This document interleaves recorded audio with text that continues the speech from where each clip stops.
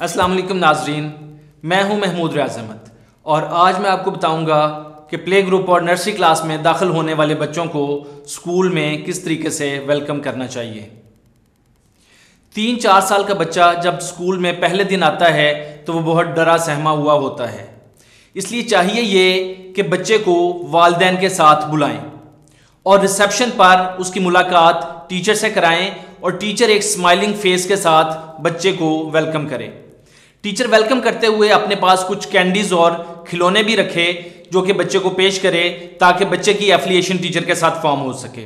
और उसी एफिलिएशन के दौरान में टीचर बच्चे को क्लासरूम विज़िट कराने के लिए ले जाए और वहाँ पर जाकर पहले से मौजूद तालब इलमों के साथ बच्चे का तारुफ करवाए। तारुफ करवाने के बाद बच्चे को दिलचस्प किस्म की एक्टिविटीज़ में इन्वॉल्व कर देना चाहिए है। एक्टिविटीज़ में इन्वॉल्व होने के बाद वो क्लास के माहौल से और बच्चों से मानूस हो जाएगा। इस तरीके से बच्चे का पहला दिन जो है, वो अच्छा गुजर जाएगा। छुट्टी से पहले टीचर को चाहिए कि वो दिन की दिलचस्प एक्टिविटीज़ बच्चे के साथ दोबारा से शेयर करे।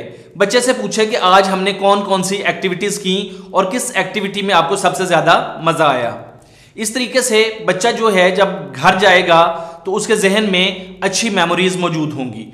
और आने वाले दिन के लिए बच्चे को दिलचस्प एक्टिविटीज़ के बारे में बताया कि कल हम ये ये एक्टिविटीज़ करेंगे ताकि बच्चा आने वाले दिन के लिए जहनी तौर पर तैयार होकर जाए। इस तरह ना सिर्फ़ बच्चे का पहला दिन बच्चे के लिए यादगार होगा, बल्कि आने वाले दिन के लिए वो एक्साइटेड और मोटिवेटेड भी होगा और स्कूल आने के लिए रजामंद होगा।